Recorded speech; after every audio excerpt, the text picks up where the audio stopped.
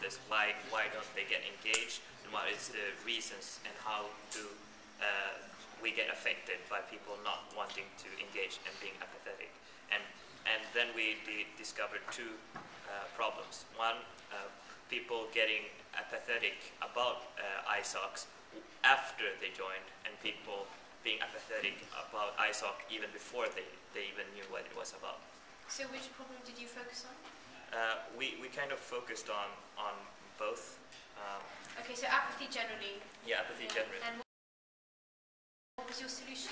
The, the solution was to, to, to be more proactive and to get the attention of people and to create some uh, larger continuity by, by having more uh, regular events and uh, so that people know more what they can expect.